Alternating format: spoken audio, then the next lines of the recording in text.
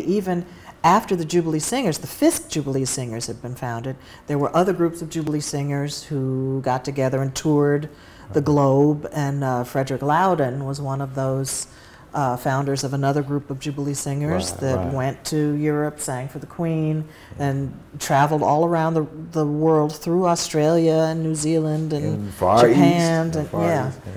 And um, it was his niece, Leota Henson, who was the pianist for that particular group. And she, as far as I know, is the first African American woman to study piano at the Leipzig Conservatory in Leipzig, Germany. And and and you turned me on to this story. That- again, another fantastic, amazing story. That's you know, with a hidden figure in history. right, You know, right. A hidden figure. Right. We dug up those photographs of her. There's some beautiful, Beautiful photographs photographs, of the two of them, of uh, Loudin and Leota Henson, taken in Scotland.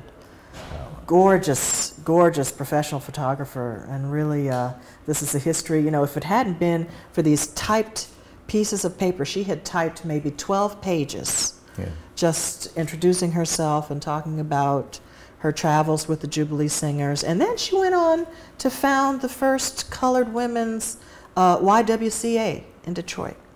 Amazing. Yeah, yeah. These are this is the caliber of person who's Right. who's been connected with the Jubilee Singers. But that's what that's what higher education does.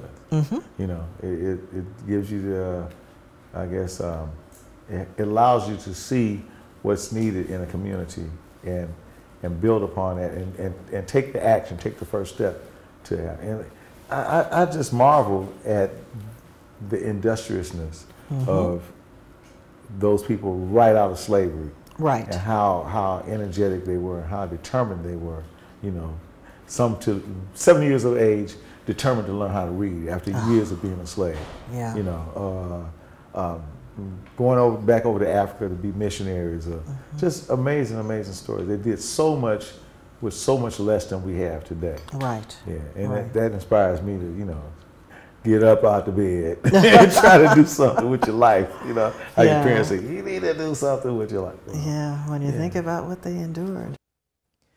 If you would like to see more clips from the Noshing with Nina show, make sure to subscribe and click on the notification bell.